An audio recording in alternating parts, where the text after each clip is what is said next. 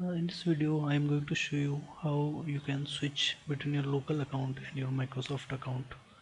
I hope you already know what is the advantage of using a Microsoft account on your Windows 8.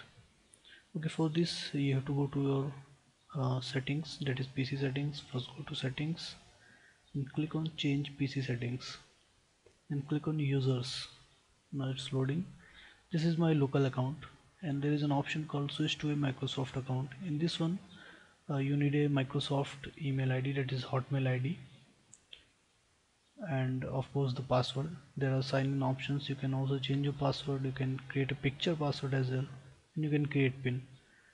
Now if you switch to a Microsoft account suppose suppose you switch to a Microsoft account what are the things means what are the advantages? So for that uh, you have to click on sync your settings.